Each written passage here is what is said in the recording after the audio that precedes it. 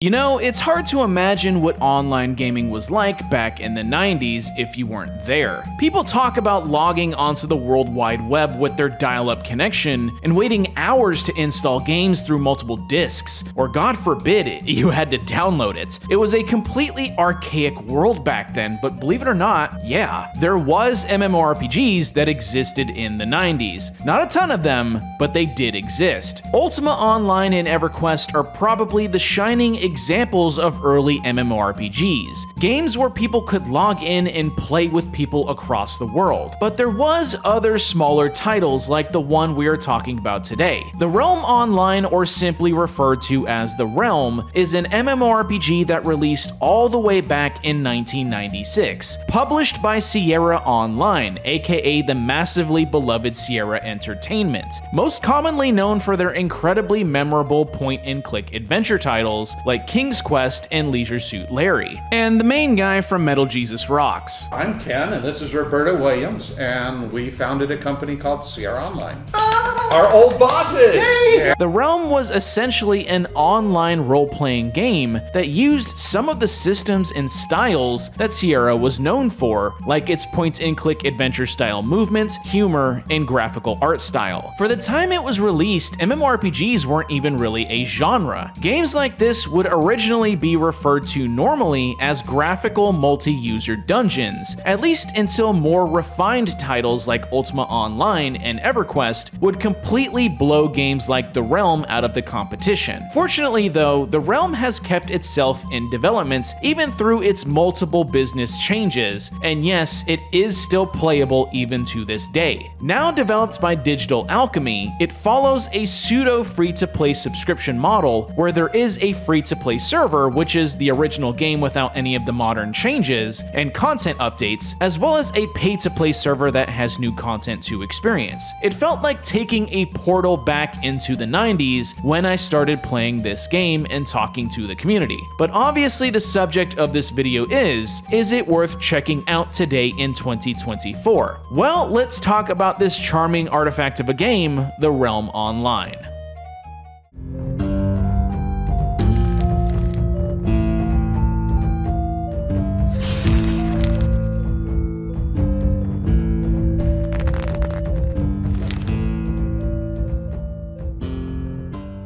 So the first hurdle of the Realm Online is creating an account and logging in. Oh, wait, you serious? It's not as bad as Final Fantasy XI's Play Online service, but let me break it down for you. First, you need to create an account from the main website. However, this only creates your website account. From here, you have to create a game account. Once your game account is created, simply download the launcher, pick your server, and then you can log into the actual game. One thing I almost forgot since it seems like such a silly extra step is once you create your game account, you then have to link it to your web account so that you can actually manage it and subscribe to the game if you want to. It's such a weird way to get your account all set up, but I suppose it's most likely just due to the age of the account system in place. From the launcher, you'll see two choices. The Grove server is a free-to-play vanilla server that doesn't have any of the content updates and restructuring of the pay-to-play server, which is called Mabon's Gamble. Once you log into a server, you are met with a character choice and creation screen. Surprisingly, the character creator in the Realm Online has quite a bit more options than I was expecting. You have options for gender, hair, facial hair, eyes, facial structure, ears, each with multiple options, which ironically is more options than some modern day MMOs. From here you can also choose your character's race, from human, elf, giant, and orc. Each race has slightly different attribute bonuses. The next screen prompts you for your character's class and attribute choices. There are four main classes in the realm being the adventurer, the warrior, the thief, and the wizard. Naturally, warriors are best suited for players who like playing melee fighters. Wizards are great for people who favor spellcasters, thieves are favored in skills related to daggers, throwing weapons, and dealing critical hits. And finally, the Adventurer is a well-rounded class with no real specialization. Attributes on the class selection screen are also explained. Strength increases melee damage, dexterity increases movement speed and damage with throwing weapons, intelligence helps with spells, and endurance increases the amount of HP you gain per level. Once you are happy with your choices, enter your name and title, and you are plopped into your player-owned house. From here, there is no tutorial to speak of. Rather, the game leaves you to your own discovery, much like the game's story and world. So the story of the realm is kinda whatever you want it to be. Sure, there is lore and storyline bits you can get from various NPC dialogue and such, but the Realm Online was released during a time when a story wasn't really the main focus in a role-playing game like this. Instead, the story is what you make of it. The world has lore and history for you to interact with and discover, if you want to, but ultimately, what is your story? Besides all the philosophical jargon, let's get back to the game. Graphically, the game has a classic 2D hand-drawn art style with many of the environments, enemies, and backgrounds giving a hand-painted look. Obviously, it looks dated by today's comparison, but art styles like this tend to age much more gracefully than early 3D graphics like EverQuest has. Music and sound effects in the realm, however, are sort of lacking. Most of the themes you listen to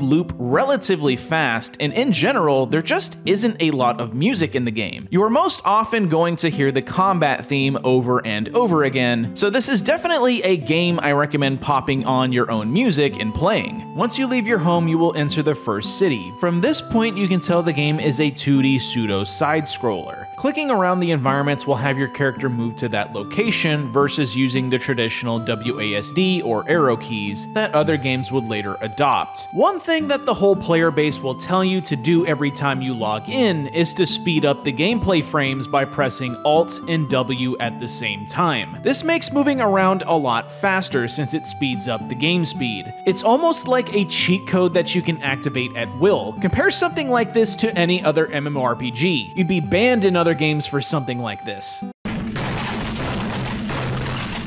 Clicking at the edge of a screen will have you move to another screen with the world map essentially being broken into a bunch of different screens. Walking around the beginner city, you can talk to NPCs, find shops, and meet other players who are incredibly friendly and more than willing to help new players. I recommend pulling up the game's wiki and reading up on some information like where certain shops are located and what areas to begin leveling your character. Since the game has basically zero handholding, you can find yourself walking into a higher level leveled area where you'll find the death screen rather quickly.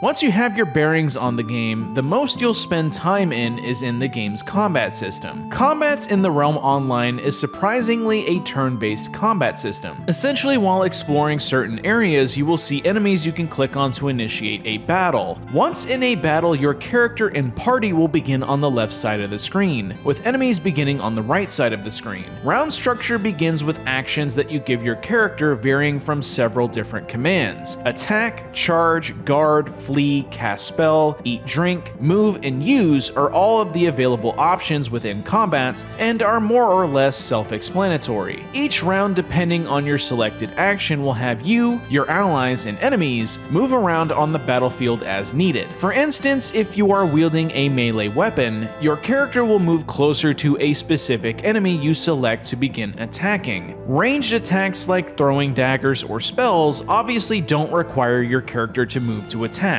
The combat system is incredibly simple, especially in the beginning, where you will largely only use the attack action or spell action. Progression through leveling up and skills will further change strategies in combat, but we'll talk about progression in a bit. Besides combat, the realm has a few other features to speak of. As you saw in the beginning after you created your character, each player has a player-owned house that is given to them right from the beginning. You can decorate your home with various items you can purchase in dedicated shops. The The currency for these items aren't easily obtainable though, so it's not really a system you'll interact with much when you start. However, it does act as a bank since they give you a storage chest that is password locked. More on why it's locked in a bit. Crafting does exist in the realm online, but it's a bit hard to get into. It requires that you unlock the skill first, and then you need mana crystals which can only be obtained by using a specific item in a specific location. Basically, don't worry about crafting until you are a much higher level. Instead, focus on getting rare loot drops from enemies for equipment. Speaking of equipment, let's talk about progression in this game. Progression in the realm is very much a classic grind, and depending on which server you are playing on, it can be completely different. First, you have your character's level, which can either go up to level 200 on Mabon's Gamble, or a whopping 1000 on the vanilla server.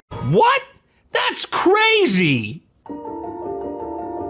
Each level up grants HP based on your endurance, as well as build points which you can use to learn and increase your skills. Skills and equipment ultimately determine how powerful your character is, since skills can relate to your combat potency with specific weapons, spells, or defense. There is also skills for crafting which help improve what you can craft, and if you are a magic focused character, you can help enchant equipment with permanent buffs. Unique to the new server is also mastery points, which is a system system where you slowly improve skills as you use them, similar to old skill ticks from Final Fantasy XI and EverQuest. Equipment is another important factor in characters' power. Loot obtained from enemies have a chance to contain rare items that can be identified. Similar to what you see in games like Diablo, rare equipment can have extra stats and perks attached to them, like extra strength or spell casting. Ultimately, there is quite a lot of ways to build your character and continuously get more and more power powerful the more you play, with the high level caps on both servers. With all the grind though, what can players look forward to doing at endgame? Is there any sort of PvP to speak of as well? Since this is such an old MMORPG, there isn't really a major focus on something like endgame. There is group content dungeons for high level players to tackle together if they choose to, but largely most players will stick to grinding out levels until they hit max. PvP is really really weird in the realm, but like in a good way. Well, at least on paper. PvP is an option you can actually toggle during character creation, and if you do so, you can attack other PvP opted players. PvP players also have the option to pickpocket other players if they've invested in the said skill, as well as potentially raid other players' homes and steal from their bank chest, hence why it's password protected. However, in all the time I played the realm online, I never ran into any players who actually interacted with any of the PvP systems in the game. The systems here sound really intriguing, and honestly, it just needs content in game that incentivizes players to actually engage in PvP. Until something like that is added though, don't expect many players to actually touch PvP. My disappointment is immeasurable and my day is ruined. The last thing I want to touch on is the game's community. As I stated before, the community is incredibly friendly and welcoming on both servers. For a 25 year old game, it's actually quite hard to find information on certain systems or how the game works. Luckily, that is where the community comes in. Developers are often online as well, so if you have any issues relating to the game, you can typically get help rather quickly. I was surprised to see how many people are typically online, especially on Mabon's Gamble, the pay-to-play server. On some days, I saw as many as 100 plus people online, although it can probably be argued that this was players multi-boxing. Multi-boxing is a slight annoyance when it comes to classic MMORPGs like this, but unfortunately, it's a common practice. I'd rather see players actually group up with each other and not with themselves, but I also can't blame players for multi-boxing. Now, this would be part of the video where I talk about the game's monetization, but really the only thing you can quote unquote buy in this game is the subscription which provides access to the new server. There is no cash shop, there is no cosmetics, the subscription doesn't provide any extra benefits, no boosted XP or gold, nope, just access to the pay to play server. But you can also just play the vanilla classic server for free. Overall, The Realm Online is an interesting step back into 90s PC gaming. I think unfortunately with all the exchanging of the game business-wise, it missed out on some of the much needed quality content updates, but Digital Alchemy are actively changing and developing on the new server. The game is definitely fun and anytime I play, I always feel like I am progressing my character, but I have to admit that the game is incredibly dated for 2024 in the MMORPG environment. I definitely recommend it to anyone looking for a nostalgic kick though. Let's get to my final thoughts.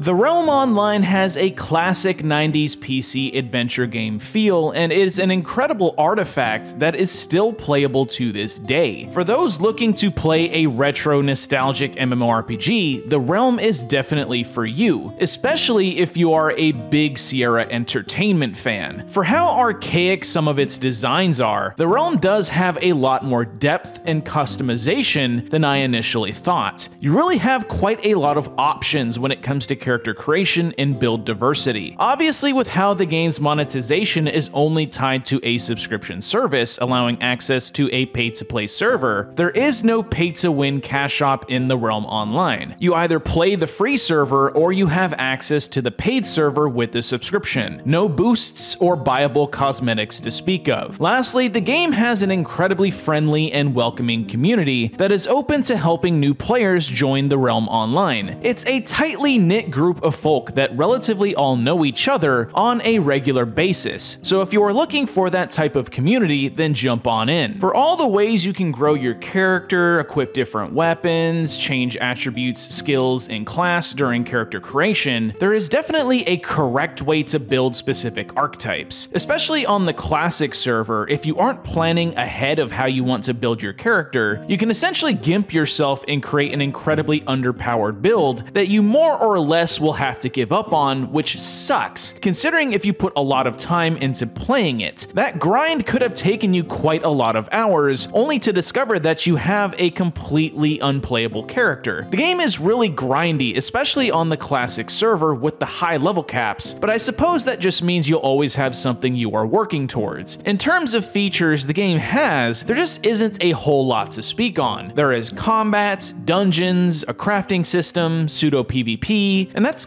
kind of it. Most of your game time is just spent going from leveling areas to the next, grinding your skills or level, with nothing really to break up that monotony. This is basically just due to the age of the game, but realistically, other MMORPGs do have other features that help break up that grind. Lastly, the game is obviously really dated. From how you create an account to how the game actually plays in its low resolution, it sorely needs a lot of quality of life upgrades. An absolute saving grace for the game would be a complete engine overhaul, but realistically, the small team developing the game would never have the funds to most likely do something like that. It's a bit of an unfortunate fate for the realm, but maybe one day in the far future, it will have a second chance at a complete overhaul.